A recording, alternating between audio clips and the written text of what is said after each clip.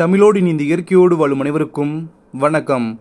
உலக நாடுகளுக்கு இடையேயான ஏற்றுமதி இறக்குமதி அனைத்திற்கும் அமெரிக்க டாலர் பயன்பாட்டை குறைத்து அமெரிக்காவை சார்ந்திருக்கும் நிலையை மாற்ற அண்மை காலமாக சில முயற்சிகள் நடைபெற்று வருகின்றன. இதில் இந்தியாவும் பங்கேற்றிருப்பதாக தகவல் தெரிவித்தன.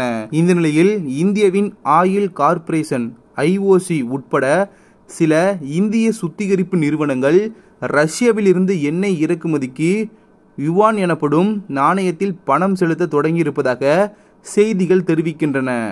உக்ரைன் மீதான ரஷ்ய படையெடுப்பினால் விதிக்கப்பட்ட சர்வதேச தடைகளின் ஒரு பகுதியாக டாலர்கள் மற்றும் யூரோக்களில் பரிமாற்றங்கள் கையாளப்படுவதற்கு அனுமதிக்கப்பட்டதால் இதற்கு மாறாக யுவான் பயன்படுத்தப்பட தொடங்கியுள்ளது. இந்தியாவின் மூன்று தனியார் சுத்திகரிப்பு நிறுவனங்களில் குறைந்தது இரண்டு நிறுவனங்கள் ரஷ்ய இறக்குமதிக்கு யுவானில் பணம் செலுத்துகின்றனர் என செய்திகள் தெரிவிக்கின்றன. பாரத் பெட்ரோலியம் கார்ப்பரேஷன் மற்றும் இந்துஸ்தான் பெட்ரோலியம் கார்ப்பரேஷன் ஆகியவை தங்களின் நாணய விருப்பங்களை விரிவுபடுத்தும் முயற்சியில் ரஷ்யாவின் கச்சா எண்ணெயை யுவானில் செலுத்த பரிசீலித்து வருகின்றன.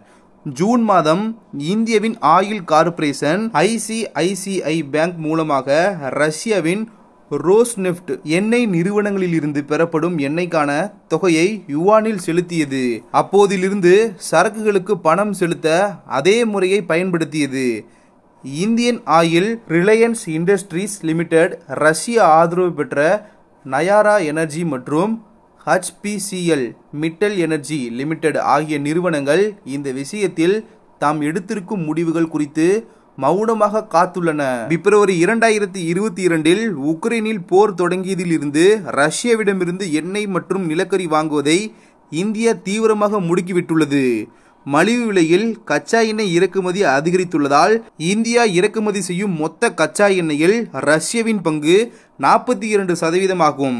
ஜூன் மாதம் இந்தியா ஒரு நாளைக்கு இருபது லட்சத்துக்கும் அதிகமான பீப்பாய் கச்சா எண்ணெயை தள்ளுபடி விலையில் ரஷ்யாவிலிருந்து இறக்குமதி செய்தது.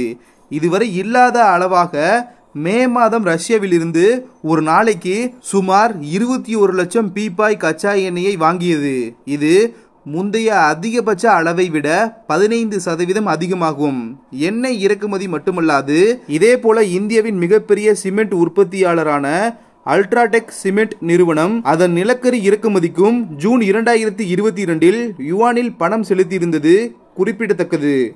வீடியோ இன்ஃபர்மேட்டிவாக இருந்தால் சேனலை சப்ஸ்கிரைப் செய்து கொள்ளுங்கள். நன்றி.